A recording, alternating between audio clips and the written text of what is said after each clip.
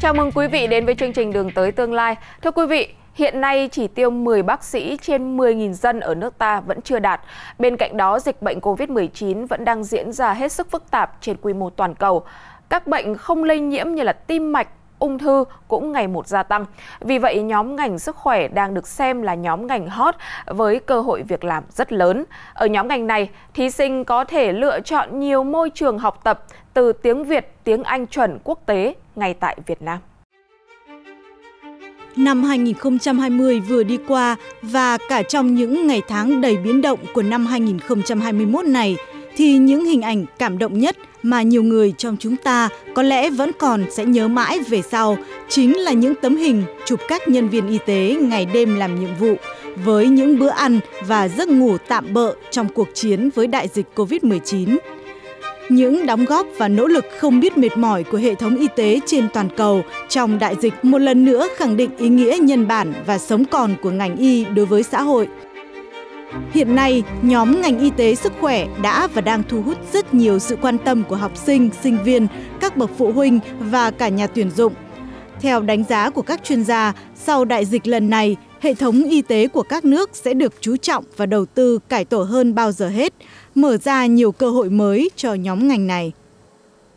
Lê Phương Hà, cô sinh viên năm cuối ngành khoa học và công nghệ y khoa, trường Đại học Khoa học và Công nghệ Hà Nội cho biết, mặc dù chưa ra trường, song cô rất tự tin với tiềm năng của chuyên ngành mà mình đang theo học. Đó là ứng dụng những thành tựu của công nghệ vào điều trị lâm sàng và cải tiến thiết bị y tế nhằm chăm sóc và nâng cao sức khỏe con người. Cái ngành này thì có cái tiềm năng trong tương lai rất là lớn, nhất là trong cái lĩnh vực điều trị cho bệnh nhân. Và bọn em thì không trực tiếp tham gia điều trị cho bệnh nhân như là các bác sĩ, à, nhưng mà bọn em uh, có vai trò là nghiên cứu, là, là làm việc trên những cái mẫu bệnh phẩm của bệnh nhân thì nó cũng là một cách gián tiếp để giúp đỡ những bệnh nhân thật sự Ngày nay, ngành khoa học và công nghệ y khoa xuất hiện như cầu nối giữa khoa học và y tế, đồng thời mở ra một hướng đi mới cho sinh viên yêu thích nghiên cứu y sinh, phát triển thiết bị y sinh. Cử nhân tốt nghiệp ngành này sẽ là các chuyên gia phát triển công nghệ y khoa có trình độ cao, có khả năng nghiên cứu, phát triển các giải pháp khoa học y sinh tối ưu trong phát hiện và điều trị bệnh theo hướng khoa học y sinh hoặc tích hợp kiến thức về nguyên lý sinh học, kỹ thuật y sinh, điện tử y sinh, y học tái tạo, khoa học máy tính và trí tuệ nhân tạo để nghiên cứu, phát triển thiết bị hỗ trợ phục hồi chức năng, dụng cụ và trang thiết bị y tế nhằm hỗ trợ chẩn đoán, điều trị, chăm sóc, cải thiện và bảo vệ sức khỏe con người theo hướng kỹ thuật y sinh. Với ngành học này, giờ đây các cơ sở đào tạo trong nước cũng đã có bước phát triển vượt bậc khi đa dạng hóa các chương trình đào tạo chất lượng cao liên kết với các trường đại học quốc tế. Thứ nhất là ra trường các em có nền tảng ngoại ngữ tương đối tốt, đấy là điều đầu tiên. Thứ hai là trong những năm làm ở trường thì các em có cái khối lượng thực hành so với ờ, tổng thời lượng học học thì khối lượng à, các giờ thực hành tương đối lớn. Vì vậy các em đã làm quen được các hết các thiết bị và các kỹ thuật tiên tiến mà thông qua các đề tài của các giảng viên trong trường định hướng cho các em. Cho nên là khi ra à, khi các em đi học ở nước ngoài thì ờ, về mặt kỹ thuật những kỹ thuật tiên tiến là các em không không còn bỡ ngỡ nữa. Các em không có có uh, gặp cái khó khăn gì khi mà hội nhập vào cái môi trường uh, đại học ở nước ngoài. Đấy là điều tự tin thứ hai. Và điều tôi um, rất tự tin um, rất um, tự hào về sinh viên của trường mình đó là à, ngày càng có nhiều các em sinh viên đã có những công bố quốc tế công bố ISI trên các tạp chí uy tín à, và, và điều đó đã thể hiện rằng là thế giới đã đã công nhận cái trình độ của của sinh viên của của USTH. Việc nắm bắt xu thế nghề nghiệp khi sức khỏe con người đang được đặt lên hàng đầu hiện nay là vấn đề mà các bạn trẻ cần quan tâm khi quyết định lựa chọn nghề nghiệp trong tương lai của mình. Mùa tuyển sinh năm 2021 ghi nhận sự trăm hoa đua nở các ngành đào tạo về sức khỏe tại nhiều trường đại học. Thậm chí nhiều trường vốn có thế mạnh về kinh tế xã hội cũng tham gia đào tạo các ngành y dược. Dĩ nhiên, luật không ngăn cấm bất cứ cơ sở đại học nào mở ngành học mới nếu đủ điều kiện, đủ tiêu chuẩn, nhưng sự chéo ngoe này khiến nhiều người lo lắng. Câu hỏi được nhiều người đặt ra là vì sao ngày càng có nhiều trường đại học lấn sân tham gia vào đào tạo các khối ngành sức khỏe cho đủ điều kiện để mở ngành học này được cho là cực kỳ khắt khe. Nhu cầu nhân lực của ngành này quá lớn hay học phí đào tạo khối ngành sức khỏe đang là miếng bánh ngon cho các cơ sở giáo dục đại học. Cả nước hiện có khoảng trên 70 trường tham gia đào tạo khối ngành sức khỏe, bao gồm 11 trường đại học thuộc Bộ Y tế quản lý, khoa y dược của các trường đại học vùng, đại học đa ngành như Đại học Quốc gia Hà Nội, Đại học Quốc gia Thành phố Hồ Chí Minh, Đại học Đà Nẵng, Đại học Cần Thơ, các đại học và học viện do quân đội quản lý và hàng loạt các trường đại học tư thục cũng được phép mở thêm ngành đào tạo có liên quan đến sức khỏe. Bên cạnh y đa khoa, răng hàm mặt, dược, điều dưỡng đang đào tạo thì năm 2021, Trường Đại học Quốc tế Hồng Bàng dự kiến mở đồng loạt 8 ngành mới liên quan đến lĩnh vực sức khỏe. Y học cổ truyền, kỹ thuật hình ảnh, sức khỏe răng miệng, hộ sinh, dinh dưỡng, chăm sóc sức khỏe, chăm sóc bệnh trẻ em, kỹ thuật phục hồi chức năng, quản lý bệnh viện. Điều đáng nói, đây không phải là trường hợp duy nhất mà còn nhiều trường đại học khác cũng tham gia vào cuộc đua mở ngành đào tạo có liên quan đến lĩnh vực y dược và sức khỏe. Ờ, có thể nói là cái nhu cầu đào tạo bác sĩ về chăm sóc sức khỏe ở Việt Nam rất lớn bởi vì theo theo cái tỷ lệ trung bình tính theo cái số lượng bác sĩ trên một đầu vạn dân thì Việt Nam chỉ khoảng 1 phần 3 trên 1 phần 5 của các nước trong khu vực và thế giới. Cho nên cái việc mà có cái nhu cầu rất lớn để đào tạo theo cái ngành y hoặc thậm chí là ngành dược, đấy là điều rất là dễ hiểu.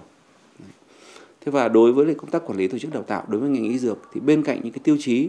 về đào tạo như của Bộ Giáo dục Đào tạo thì còn có tiêu chí của Bộ Giáo dục và Bộ Y tế.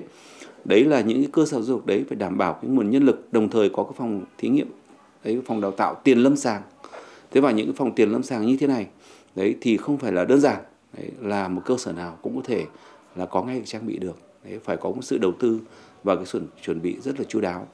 Thì thông thường các cái trường đại học thì đây là ngành hot, cho nên là kết hợp với một số bệnh viện, một số trường đại học để có thể là triển khai được. Nhưng tôi cho rằng là hiện nay thì bệnh nhân số lượng rất là đông.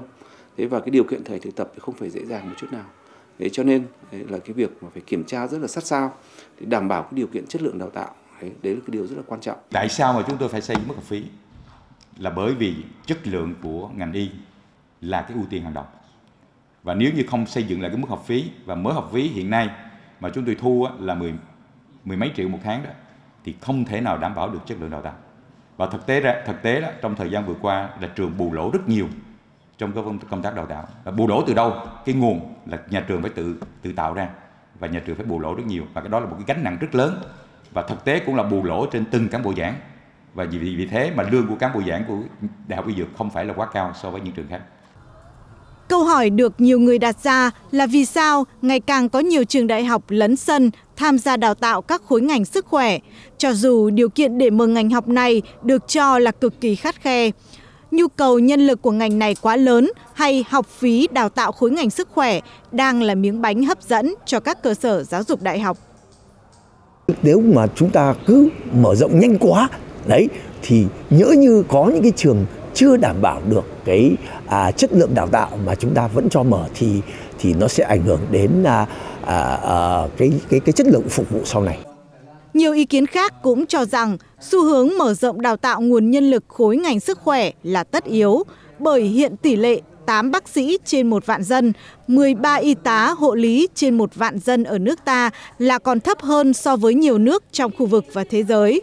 Tuy nhiên, không vì thiếu mà bổ sung tràn lan bởi đây là ngành rất đặc thù, đòi hỏi quá trình tuyển chọn, đào tạo, sàng lọc rất khắt khe. Nếu không thì hậu quả sẽ là khôn lường. Thầy cô tham gia đào tạo, ờ, đó là cái điều kiện có thể nói là quyết định. Ờ, tuy nhiên thì các điều kiện khác, ví dụ như cơ sở thực hành, rồi cái đầu vào tức là người học để có năng lực để học tốt các cái ờ, môn học hoặc là các cái hoạt động trong quá trình đào tạo thì rất nhiều tiêu chuẩn với điều kiện cộng lại thì mới có một cái sản phẩm đào tạo như chúng ta mong muốn. Khó khăn lớn nhất là chúng ta phải có nhiều cái phương pháp đào tạo mới đưa vào trong cái chương trình đào tạo. Và thứ hai là phải xuất phát từ cái nhu cầu người dân, chăm sóc sức khỏe người dân để điều chỉnh chương trình đào tạo. Và hiện nay thì nhu cầu người dân người ta um, rất là cao, đặc biệt là chăm sóc sức khỏe người ta hướng vào chuyên sâu rất là nhiều. Thực tế, những quy định và điều kiện mở ngành đào tạo khối ngành sức khỏe đã được Bộ Giáo dục và Đào tạo đưa ra. Tuy nhiên, nhiều ý kiến cho rằng đa số các trường thực hiện theo chuẩn tối thiểu là chưa đủ, bởi một ngành sẽ có nhiều chuyên ngành khác nhau nên cần có quy định cụ thể hơn, chi tiết hơn. Song song với đó là vấn đề giám sát, hậu kiểm cũng phải được tăng cường từ phía cơ quan quản lý nhà nước.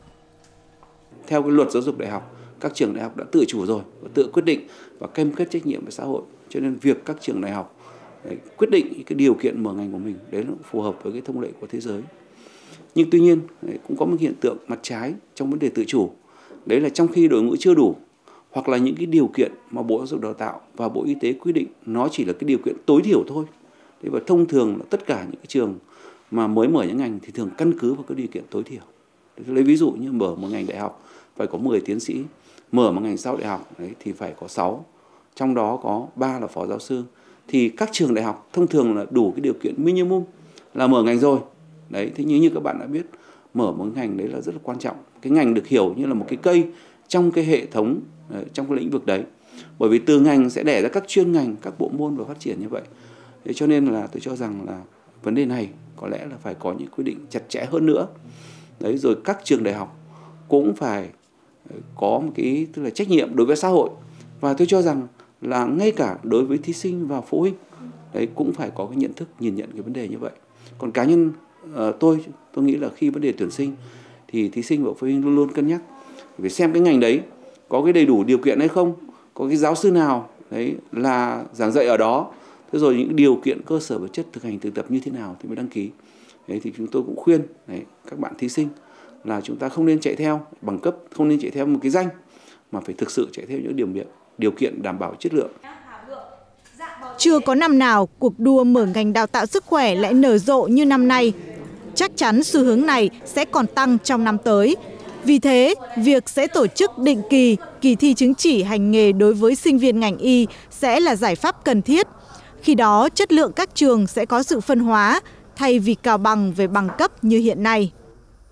Bởi cái chứng chỉ nó sẽ là một cái chứng nhận giúp các em là ngoài kiến thức năng lực cơ bản thì các em có đủ những cái kinh nghiệm thực tế để các em có thể là thực hiện cái hành nghề về chứng chỉ đấy thì tôi nghĩ là cái đấy cũng rất cần thiết. Đây chính là một cái ngưỡng đảm bảo chất lượng mà để các trường phải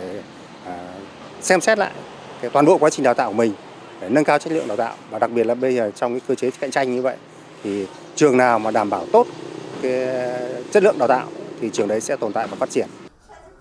Bên cạnh việc sớm có kỳ thi định kỳ cấp chứng chỉ thì nhiều ý kiến cũng khuyến nghị,